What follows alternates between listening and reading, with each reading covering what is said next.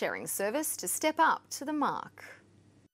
It's social outings like this which 34 year old Kai Yates lives for, but he sometimes faces an arduous wait for disability equipped transport. Sometimes you have to wait about half an hour to get one. While Uber is now regulated by the state government, there are hopes it can cater for an increasing demand from people of all abilities in regional Victoria. We need some, uh, some more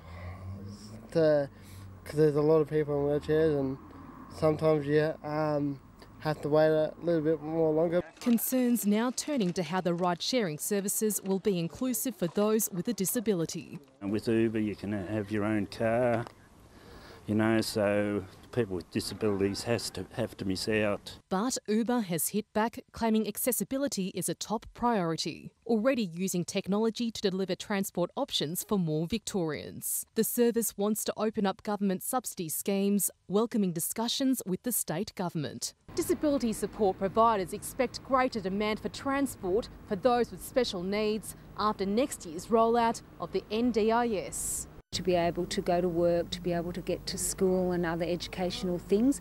And there will be an increasing, we think, need for accessible transport. Alison Fonseca, WIN News.